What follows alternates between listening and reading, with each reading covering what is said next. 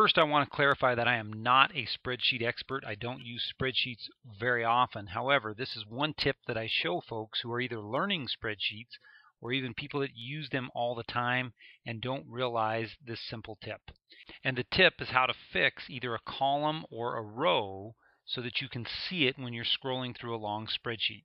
So I have a dummy spreadsheet here, just a few columns wide, and I want to fix this first row so that when I scroll down through my spreadsheet, I know what the column headings are.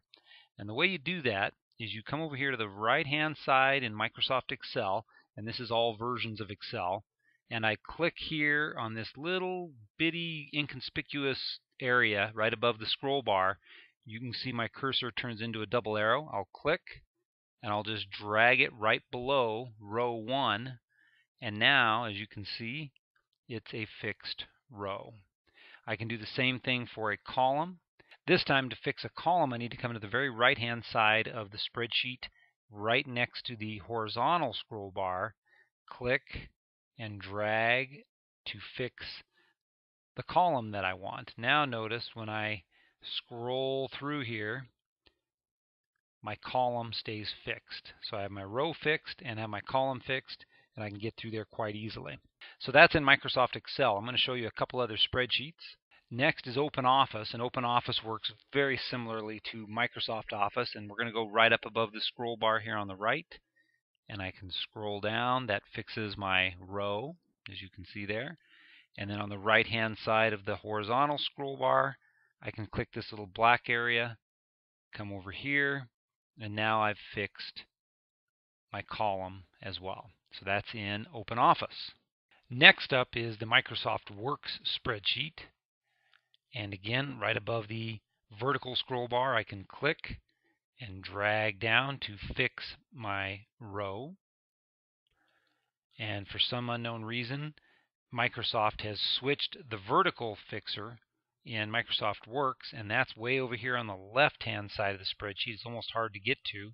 Click and drag to fix the number of columns you want. And you, and you can fix more than one row or one column by simply dragging your fixed indicator here to however many rows or columns you need.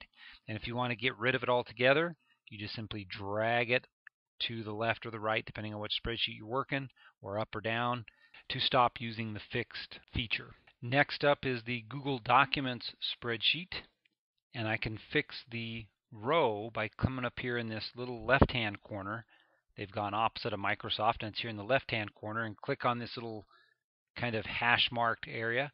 Click and drag down to fix the row that I want to fix. Or again, you can do multiple if you want to. And if you want to fix a column, it's right in the same area, right up here on the upper left.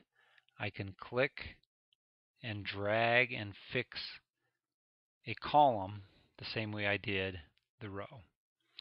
So that is Google Docs spreadsheet. And lastly is the Zoho spreadsheet, which for some reason only lets you fix a row or a column, but not both. So if I want to fix my first row here in Zoho Sheet, I can highlight that row by clicking the number of the row here. Then I right click on that row and click freeze the pane. Don't know why they call it that. Now you can see that I have the first row fixed. Now if I want to fix column A, you'll see if I high, right click on that, I can't freeze it. I have to unfreeze the other ones first before I can freeze it.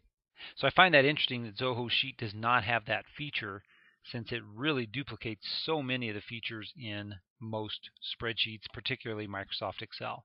So there's how you fix a row and or a column in all kinds of different spreadsheets give that a try, and I think you'll find it very useful. And by all means, share this tip with any spreadsheet users you know.